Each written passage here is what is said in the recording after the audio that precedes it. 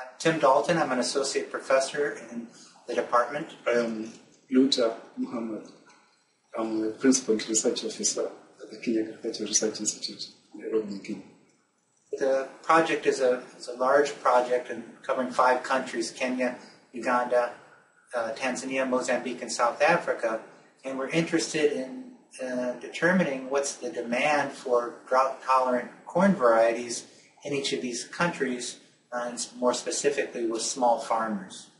And so Dr. Muhammad is taking leadership on uh, some of the work that we're doing in Kenya, in a um, rural area near the uh, Machakos is the nearest large city um, in Makueni and Kathonzweni areas.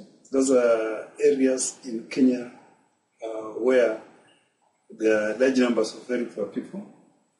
Uh, there are frequent droughts which wipe out food, and the food deficit areas.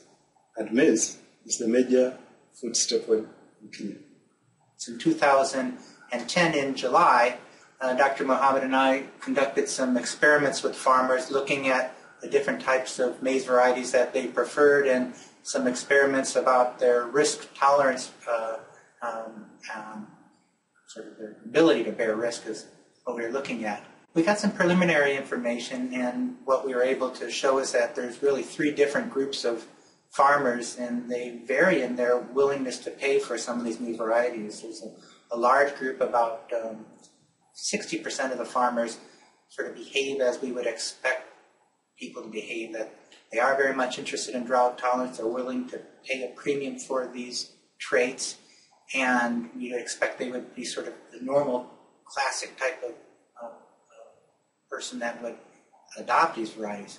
Then we have a second group, which is uh, about 25% of the population, and they say that yes, we're interested in these traits, however, we're not willing to pay for them. So we don't know why that is, but we think maybe it has to do with their level of poverty. And it's sort of like a scenario where you go and you drive around a parking lot or an automobile dealership and say, oh, I really like that car, but I can never pay for something like. And then the third group, which is really not interested in these traits at all, and they're looking for other attributes like insect resistance and um, drought escape through shorter cycle, uh, early maturing varieties. Yeah, the implications for research are uh, enormous. For immediate use in the development of uh, maize varieties is that we are trying to show the way in which uh, farmers respond, the evaluation of the maize varieties which are coming, and the ability to pay for them, and therefore the ability for seed producers, seed traders, will make the seeds available to the farmers will be increased through the findings we're going to get from the research we're. So, I mean, I guess some of the potential implications that we might emerge is that that uh, large segment who behave sort of normally, they're going to, uh, with proper information, proper education, they would go and purchase these seeds at a regular seed supplier and use them.